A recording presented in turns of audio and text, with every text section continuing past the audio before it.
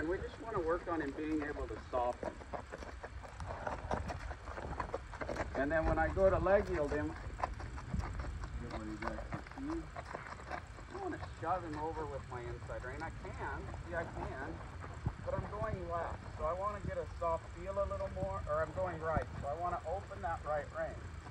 I want him going to this leading rein, not because I'm shoving him over with this opposite rein. When I pull on my left rein, it should mean go left. Not leg yield right.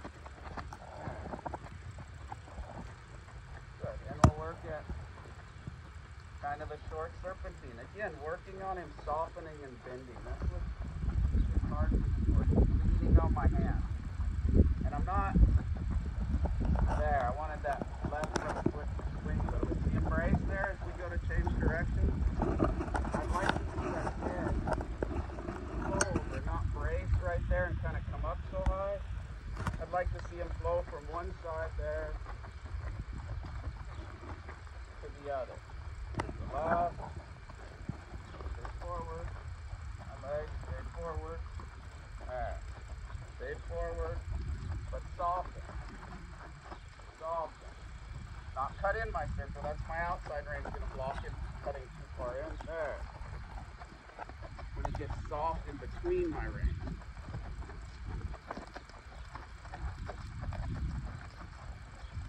And he gets that little kind of quick step in there where he wants to kind of take over.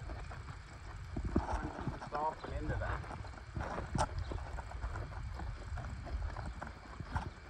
Want him just to soften. That was a little bit better. Good, and we'll take him on a little trip. Straighten out a.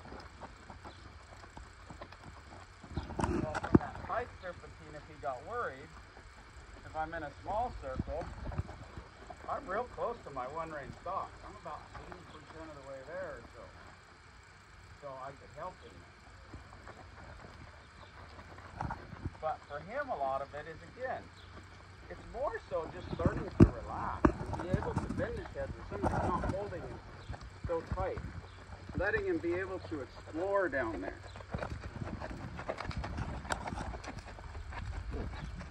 And again, I'm not crazy about using a whip and riding with a whip, but the client wants to. So I can use the tail of my rope there. Not just get him more comfortable about it all the time. Well, I wouldn't swing my rope yet, just to do this. Bothers him. But we don't avoid it either. Just soften there. But we got to get those little baby steps in there before we can do more.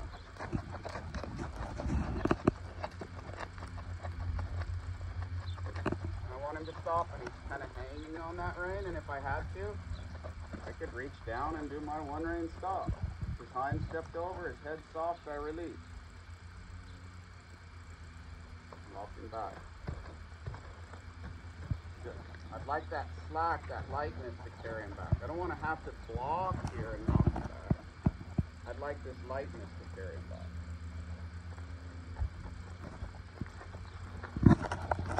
Same thing on this. Have my last roll. It can be kind of like a riding crop. You get break there, we'll soften. And I'll use my last rope there where I can wiggle that around a little bit. Have him get used to that.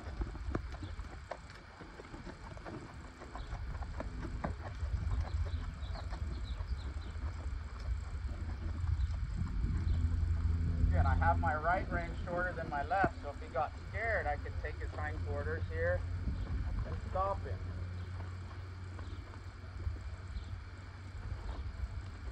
And I guess that wasn't just for demonstration purposes. It was also because you'd rather stop him before the trouble comes in. I don't want to take him so far to trouble that he gets scared and I need it. And if he does get scared, I want to know I have something there. I don't want it the first time I do it to be in the middle of a wreck. I want to do it a bunch before the wreck so that there's some understanding.